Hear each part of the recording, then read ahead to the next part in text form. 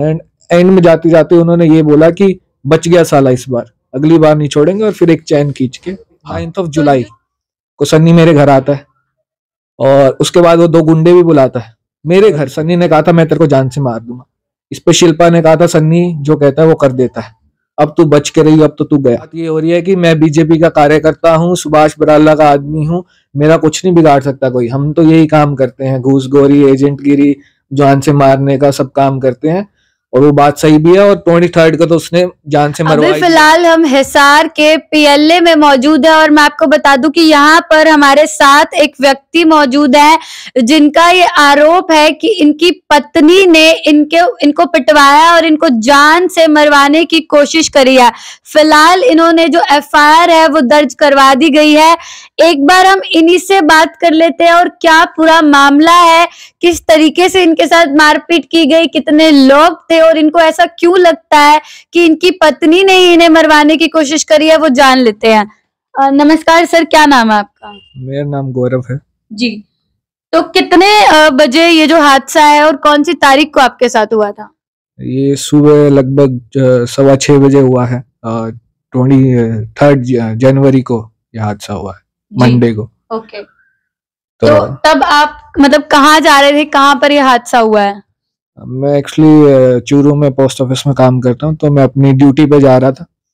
तो ये इंफॉर्मेशन शिल्पा के पास या मेरी मदर के पास ये कि मैं ऑटो पकड़ के जाता हूँ और मंडे को, क्योंकि मेरी मदर वीडो है तो मैं उनका ध्यान रखने के लिए वीकेंड जब भी ऑफ़ होता है तब आता हूँ। तो ये इन्फॉर्मेशन कि मैं ऑटो पकड़ के इस लोकेशन पे खड़ा हूँ और इस टाइम जाऊँगा, ये इन्फॉर्मेशन इतनी कॉन्फिडेंशियल है कि सिर्फ़ शिल्पा को पता थी। तो शिल्पा कौन है? एक बार बताइए। शिल्पा मेरी वाइफ है। ठीक है ओके तो जैसे ही मैं सामने पहुँचा हूँ उधर एक लो एक बंदा मेरा मतलब राइट साइड पे फ़ोन पे बात करने की एक्टिंग कर रहा था। दो लोग सामने थे। जैसे ही मैं उधर रोड पे पहुँचा तो वो एक चल के डाइगनली गए हैं दोनों। एक जो राइट साइड पे वेट फ़ोन पे बात करने की एक्टिंग कर रहा था उसके पास गया एक मेरे लेफ़्ट साइड पे गया है। तो मेरे को थोड़ा फिशी लगा क्योंकि अगर आप उधर खड़े हैं तो आप उस डायरेक्शन में जाना चाहते होंगे। लेकिन जैसे ही मैं पहुँचा, वो मेरी तरफ़ आ गए हैं। उसके बाद क्या हुआ कि जो मेरे लेफ़्ट साइड गया, उसने मेरे को बोला कि ऑटो कितनी देर में आएगा। मैंने कहा, मुझ, मेरे को नहीं पता। फिर उसने कहा कि, भाई, तेरे को भी ट्रेन से जाना है। कहाँ जाना है? मैंने कहा, चूरू। तो उसके बाद उसने बोला कि, मेरे को सन्नी ने भेजा है, शिल्पा ने भेजा है। और जितने पैसे वो मांगते हैं, आप उसको पैसे दे दो। दोनों को पैसे दे दो। जितने पैसे सन्नी मांग रहा है, दे दो। तो मैंने कहा मैटर कोर्ट में है। कोर्ट जो डील करेगा, वैसे ही होगा, क्योंकि लो है इंडिया है, अपन रहते हैं लोग। इस पर उसने मेरे को धक्का दिया और फिर उन लोगों ने मेरे को बेसबॉल बैट से हमला कर दिया, जिसकी वजह से मेरे हेड पे राइट हैंड पे एक स्टिचेस इधर भी हैं, मेरे प्लास्टर के नीचे, और फ्रैक्चर हुआ है। बाकी मल्टीपल इंजरीज हैं। तो अटैक इतना वॉयलेंट था कि ये ट्वेंटी थर्टी सेकेंड में ही हो गया और मतलब ये खुश किस्मती की बात है कि तीन चार लोग सैर करे थे उन्होंने बचा लिया वो ईटे उठा के आए तो वो भाग गए। एंड एंड में जाते जाते उन्होंने ये बोला कि बच गया साला इस बार अगली बार नहीं छोड़ेंगे और फिर एक चैन खींच के भाग तो जो चैन आपकी खींच के भागे हैं क्या वो सोने की थी? हाँ जी वो सोने। ओके तो अ, कितने लोग थे टोटल टोटली चार लोग थे। चार लोग थे।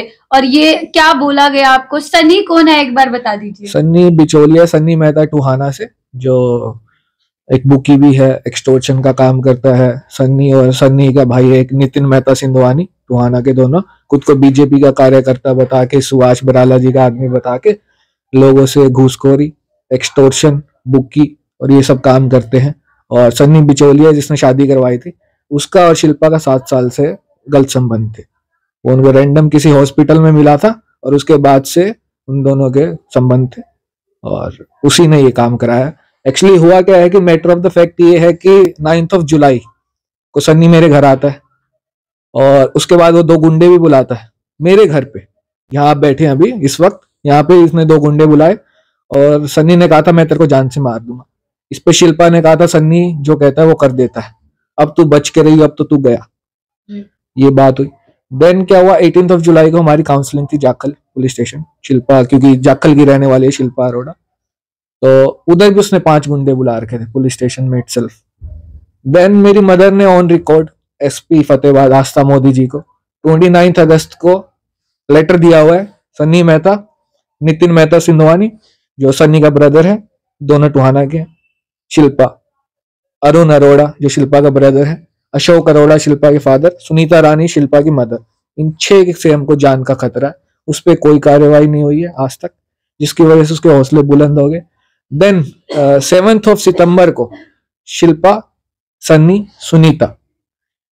इन तीनों ने फिर इन द कोर्ट इट मेरे को कहा, इधर से तू बच गया, तेरे को जान से मारूँगा। अच्छा तो मतलब लगातार इनको जो है जान से मारने की धमकी दी गई है इनकी पत्नी के द्वारा और जो विचोलिया आपने बताया है सनी उनके द्वारा। हाँ जी। तो आपने क्या इस पर पहले अच्छा आपकी मदर ने शिकायतें दी हैं? ऑनलाइन ऑन रिकॉर्ड है एसपी हम्म। फतेहाबाद आस्था मोदी जी के पास लेटर गया हुआ है ट्वेंटी नाइन्थ ऑफ़ अगस्त को। हम्म। क्योंकि एक्शन नहीं हुआ जिससे उसकी बात ये हो रही है कि मैं बीजेपी का कार्यकर्ता हूँ सुभाष बराला का आदमी हूँ मेरा कुछ नहीं बिगाड़ सकता कोई। हम तो यही काम करते हैं घूस गोरी एजेंट गिरी जान से मारने का सब काम करते हैं। और वो बात सही भी है और ट्वेंटी थर्ड का तो उसने जान से मरवा ही दिया था। क्योंकि ये इंफॉर्मेशन इतनी प्राइवेट एंड कॉन्फिडेंशियल है कि not even my neighbours knows it कि मैं किस टाइम जाता हूँ कहाँ खड़ा होता हूँ लोग इंतज़ार कर रहे हैं एक्चुअली तो ये तो मतलब फैक्ट्स आप लोग ही मिला सकते हैं। जी तो आपकी शादी कब हुई थी? शादी इक्कीस अप्रैल को हुई थी। इक्कीस अप्रैल साल बता दीजिए। पिछले 2022 में। तो जब से आपकी वाइफ आई है क्या तब से झगड़े वगैरह चल रहे हैं? झगड़ा कुछ नहीं है उसके गलत संबंध थे सन्नी के साथ। Okay. यही है मैटर अच्छा। और कुछ मैटर नहीं है।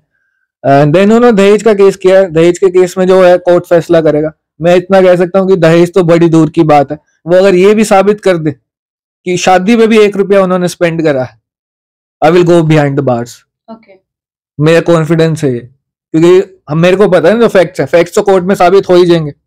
वो जो भी है मैटर कोर्ट में चल रहा है लो से चलेगा ना सिस्टम आप ऐसे किसी को जान से मार के तो नहीं चल सकता ना सिस्टम जी आ, इनकी बात बिल्कुल सही है। चाहे जो भी मैटर है अगर इन्होंने दहेज लिया भी है या नहीं भी लिया है तो इस पूरे मामले पर जो केस है वो कोर्ट में चल रहा है।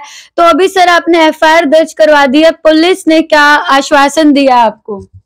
पुलिस ने कहा अरेस्ट होंगे। हम्म। बहुत जल्द अरेस्ट होंगे। हम्म। एक बंदा सीसीटीवी फुटेज में भी आ रहा है, जिन चार में से अटैक करा है, वो प्रोवाइड करवा दी गई है पुलिस को।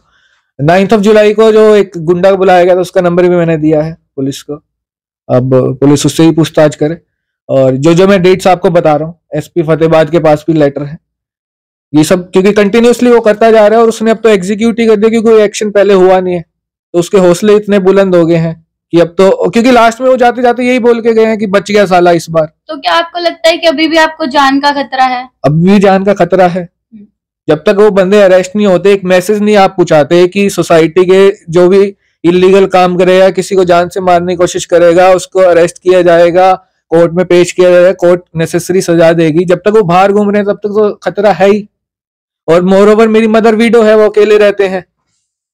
तो खतरा और बढ़ जाता है। हम तो चलो चाहे, खतरा मेरे को भी नहीं, सिर्फ़ पूरी सोसाइटी को भी है लार्जेस्ट सोसाइटी आप क्या मैसेज दे रहे हैं? कि कोई भी मतलब सेफ़ नहीं है, अगर आप, मैं ऑन ड्यूटी जा रहा हूँ मतलब सवा छह का टाइम है और सुबह के टाइम है, अगर किसी को ये इन्फॉर्मेशन फ़र्स्ट ऑफ़ ऑल तो किसी और को नहीं पता। ये तो सिर्फ़ शिल्पा को पता थी, उसने सन्नी को बताई और उन्होंने फिर प्रोफेशनल हायर करे। तो ये इन्फॉर्मेशन इतनी कॉन्फिडेंशियल उसको ही पता थी। देन आप सोसाइटी को क्या मैसेज देना चाहते हैं? कोई भी किसी को भी जान से मार सकता है। जब तक अरेस्ट नहीं होगा तब तक खतरा है और मोर ओवर हम अकेले रहते हैं तो अभी भी हम घर पे बंदी करके रहते हैं। अभी भी जैसे आप आए होंगे तो अभी बंदी कर रखा था। और जैसे ही कोई गेट खड़खड़ाता है तो भी मतलब रूस ही काँप जाती है। तो एक आखिरी सवाल मैं पूछना चाहूँगी मीडिया के सामने आने का क्या कारण था? मीडिया के सामने तो अपनी बात रखने का ही है कि ताकि सब तक पहुँचे बात और जल्द से जल्द न्याय मिले। जी। तो फ़िलहाल आप सुन सकते हैं पीएलए में ये जो परिवार है, ये रहता है और इतनी बेरहमी से इनको जो बास्केटबॉल का बैट होता है, उनसे मारा गया है और इस व्यक्ति का ये कहना है कि सिर्फ़ इनकी जो पत्नी है, उनको और इनकी माता जी को ही पता था कि ये उस वक्त पर कहाँ होते हैं और इस तरीके से उनके द्वारा इतनी धमकियाँ देने के बाद इन पर असल में हमला हो जाता है। तो अगर जो दूसरा पक्ष है, वो भी अपनी बात रखना चाहता है तो हमारे माध्यम से रख सकता है। इस वीडियो को ज़्यादा से ज़्यादा शेयर करिए, जुड़े रहिए आधार न्यूज़ हरियाणा के साथ। धन्यवाद। सामान एमआरपी पर नहीं डिस्काउंट पर लो। और हिसार में डिस्काउंट कहाँ मिल रहा है? ये जानो सेल ट्रेंडिंग डॉट कॉम पर। Visit sale trending dot com पहले कंपेयर करो, फिर शॉप करो।